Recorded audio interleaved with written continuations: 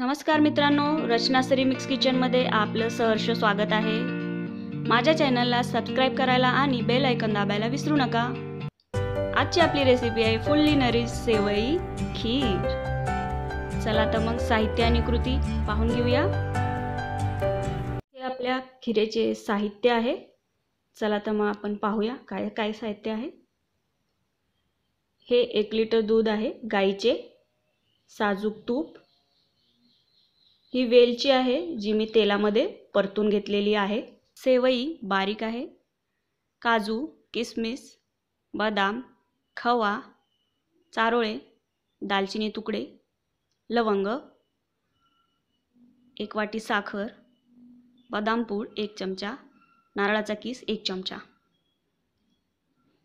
चला तर मग शिकूया. खीर कशी बनवायची?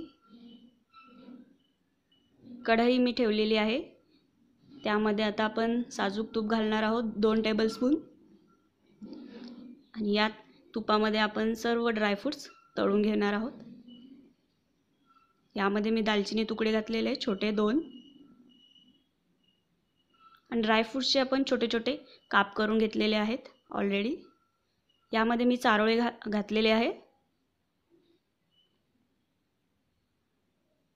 तुमच्या आवडीनुसार तुम्ही कुठलेही ड्रायफ्रूट्स घालू शकता. हे बदामाचे काप आहे.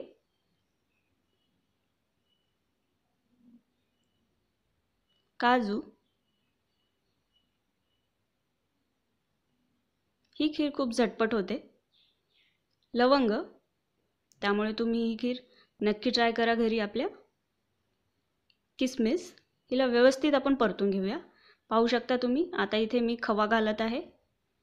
खवा मित्रांनो कधीही कच्चा घालू नका.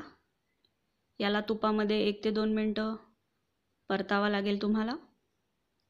तर व्यवस्थित टेस्ट येते. पाहू शकता इथे माझी फोडणी झालेली आहे. यामध्ये आता आपण दूध घालून घेऊया.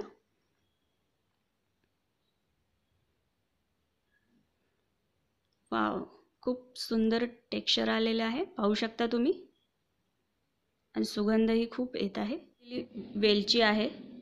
ह्याला याचा आपण बारीक पूड करून घेऊया. उकळलेली आहे आपली खीर. यामध्ये आपण आता बारीक सेवई घालत आहोत. एक वाटी साखर. तुम्ही तुमच्या आवडीनुसार घालू शकता. किती तुम्ही गोड खाता त्यानुसार. दोन चमचे खोबऱ्याचा किस आहे. तो मी घालत आहे.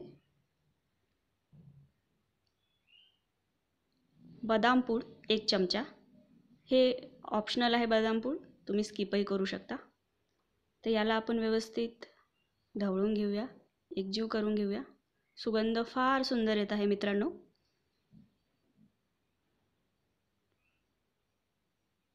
पाहू शकता आता इथे मी फ्लेवरसाठी जी वेलची पूड आहे ती घालत आहे. एक मिनटं उकळून घ्या त्याच्यानंतर आपली खीर तयार आहे. पाहू शकता मित्रांनो ही आपली मी खीर रेडी टू सर्व आहे. याचं मी प्लेटिंग करते. सुंदर किती सुंदर दिसत आहे पाहू शकता तुम्ही. तर मित्रांनो नक्कीच तुम्ही घरी ट्राय करा आणि सेवई खीरचा आनंद घ्या. आणि मला कमेंट्स बॉक्समध्ये सांगायला विसरू नका. थँक्यू